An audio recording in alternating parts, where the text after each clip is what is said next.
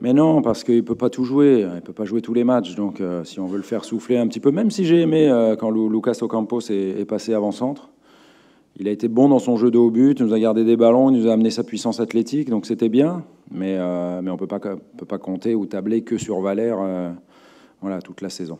Ben, on sait qu'il se déplace bien, on sait qu'il est intelligent, on sait qu'on a des joueurs pour le servir.